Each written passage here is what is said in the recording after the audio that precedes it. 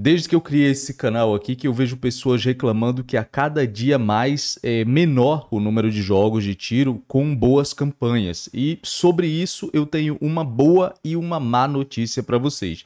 A má notícia é que realmente vocês estão certos. A quantidade de jogos desse tipo tem diminuído muito com o passar dos anos. Mas a boa é que tem um jogo que está apostando alto nessa proposta aí. E esse jogo ele pode mudar a forma como as desenvolvedoras enxergam os jogos de tiro hoje em dia. Vamos lá.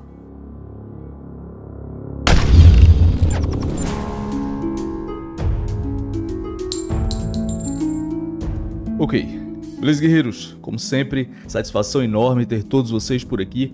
Eu sou o William Roth e hoje é dia de falar com vocês aqui mais uma vez sobre Six Days in Fallujah esse jogo que tem dado muito o que falar, exatamente por não ter medo de ser polêmico. Uh, infelizmente, a gente sabe que hoje em dia é bem complicado abordar temas mais delicados, porque com certeza o seu projeto vai ser penalizado por isso, vai ser alvo de críticas, de cancelamentos, de perseguições, de fake news, enfim uma série de pedras vão surgir no caminho aí, né? Existe realmente uma patrulha aí nas redes sociais que caça ferozmente qualquer um que não siga ali a cartilha deles e tal. Vocês sabem como é que funciona isso. Se você não sabe ainda de toda essa polêmica envolvendo esse jogo, dá uma olhada nesse vídeo aqui que eu fiz explicando absolutamente tudo. Vou deixar o link no card aqui em cima, ok? Então vai lá após esse vídeo aqui, evidentemente, né? Vai lá e dá uma olhada porque tem tudo que você precisa saber a respeito, ok?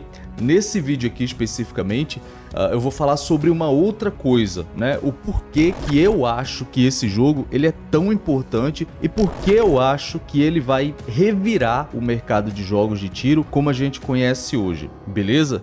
Mas antes, se liga aí nessa dica que eu vou dar aqui, porque surtos elétricos podem causar danos terríveis a seu console ou seu PC game, enfim. Então, a dica é, proteja eles com o iClamper, beleza? O iClamper é esse dispositivo que você está vendo aí na tela, tem vários modelos e com esse dispositivo os seus equipamentos ficarão seguros, ok? Link para compra com desconto e frete grátis você encontra aqui embaixo na descrição do vídeo. Vai lá. Quem quer rir tem que fazer rir.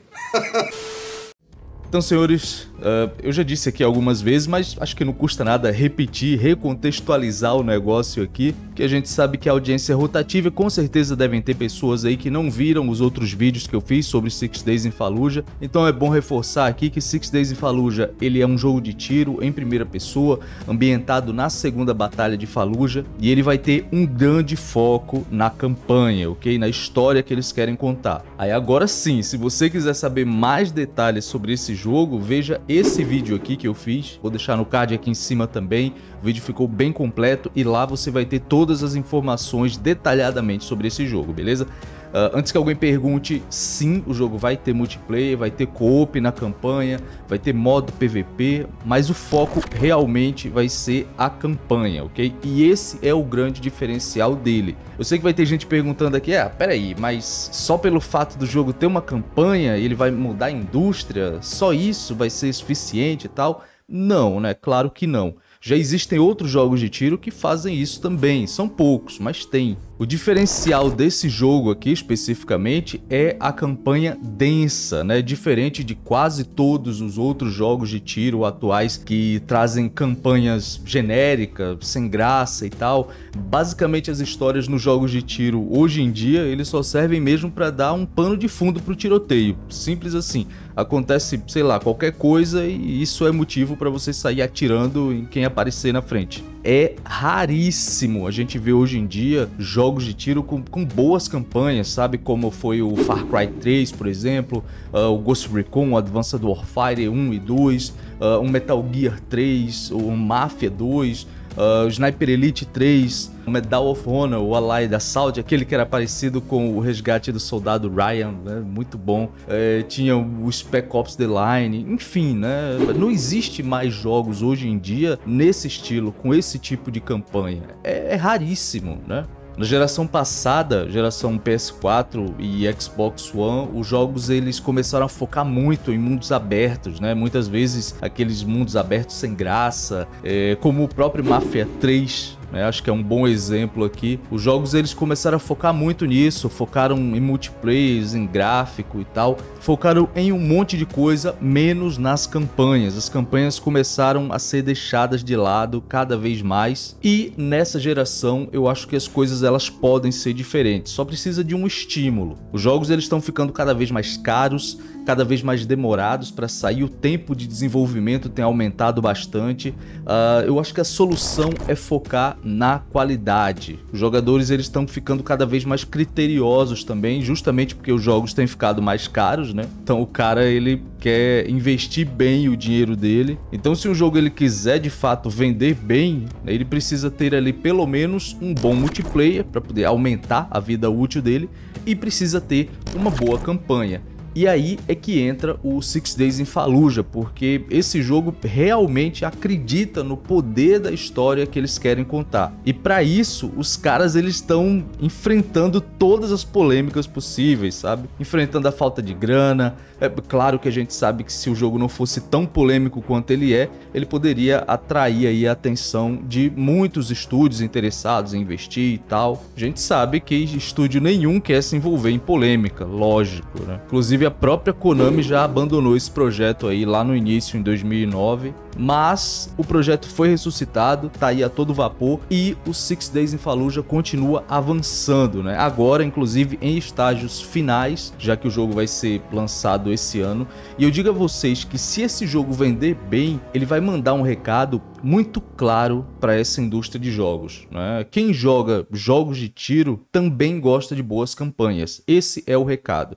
Eu sei que tem muita gente que quer só correr, atirar para todo lado e tal. Enfim, para esse tipo de jogador já existem os jogos de tiro em modo arena, né, com os multiplayers ali e vários jogadores para poder ficar matando. Enfim, isso já é suficiente para eles, né? Só que existe uma outra grande parcela do público que quer mais que isso, né? Que quer uma história, que quer um contexto e tal, não quer só sair atirando no povo. E aí, o que eu acho que pode acontecer aqui é uma coisa parecida com o que aconteceu recentemente com Top Gun Maverick, né, que ressuscitou um estilo de ação aí que o cinema meio que já achava morto, sabe?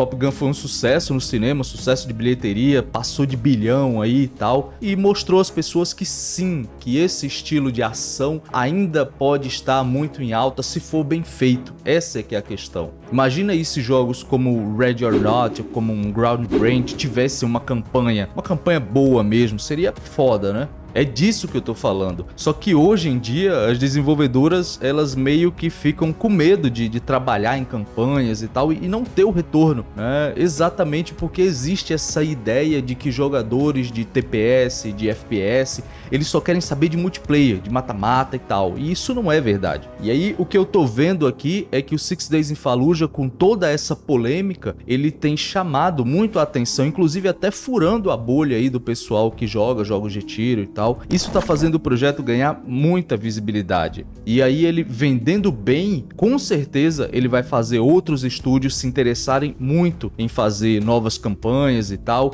e inclusive em perderem o medo de se envolver em certas polêmicas, sabe? Eu acho que a gente não pode deixar essa turma do cancelamento aí vencer, sabe? Eles não podem pautar quais jogos podem ou não ser feitos baseado lá na agenda deles e tudo mais. Principalmente jogos conflitos reais. Seria muito bom a gente ter, por exemplo, uh, um Sniper Elite na Guerra Fria ou um Ghost Recon na Guerra da Ucrânia, já imaginou? Pô, seria interessantíssimo a gente ver esse tipo de coisa. Eu acho que esse jogo tem tudo para mudar a forma como os estúdios veem os jogos de tiro hoje em dia, e isso aí pode realmente iniciar uma nova era de jogos é, que mesclam os tiroteios frenéticos e histórias, né, cada vez melhores, beleza?